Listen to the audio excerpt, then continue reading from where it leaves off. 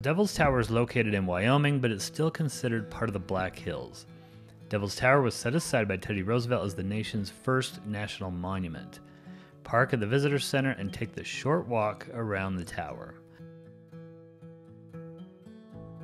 Everything's better in the West. Mm hmm. It's a strange geologic feature that is much more impressive in person than on video. Every time I visit Devil's Tower, I forget how big and impressive it is.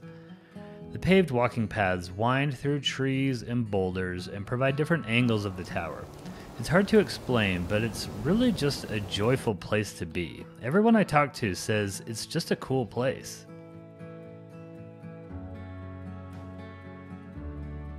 Native American legends explain the vertical lines on the tower as scratches by a giant bear who was trying to eat some people on top.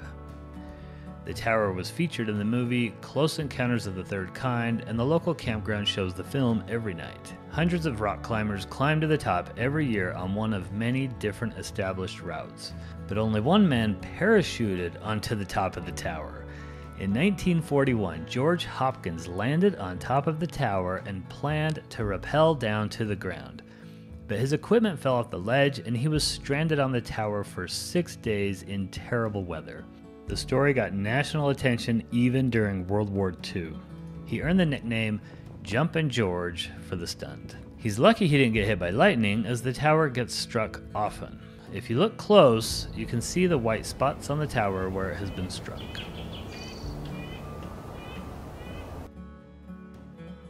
Near the campground is the Wind Peace sculpture, also called the Circle of Smoke sculpture. It was created by a Japanese artist in 2008 to represent peace. And here's another prairie dog town. While it may seem like there are tons of prairie dogs around, their population is only a tiny fraction of what it once was. Farmers don't like them, but ecologists consider them a keystone species and they are protected in some areas. It's worth a half a day to walk around the tower, see the Wind Peace sculpture, and to stop and see the prairie dogs. And it is certainly worth a detour on your great American road trip. This year we stayed in teepees nearby the tower. This was a fun family experience that I think the kids will remember for a long time. If not for the teepees, for playing baseball with cow chips. Welcome to the West.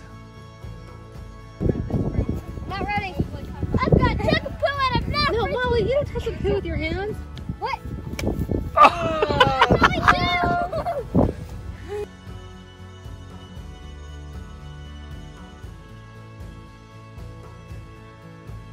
All right, we slept in a teepee last night. I couldn't believe how windy it was. It got up to 20 miles per hour and our teepee was just fine. And it rained, it didn't get wet. So we, we survived the teepee experience. It was kind of cool hearing the canvas beating in the wind much of the night. In the morning, we caught up with the owner Juliana. She's an absolute trip to talk to. She's every bit a part of the experience as the teepees are. What's the most common question you get here? Is it gonna fall down on me? Are the snakes gonna bite me at night? Why teepees. It was the least expensive living structure I could find after I bought the property. And then I went, oh, this is a cool way to live. Bought the property, I put up a teepee to live in. Tourists would not stop pulling in, taking a picture of me brushing my teeth in the morning, and I realized I was providing something the national park didn't. Some information about how the people who lived here lived.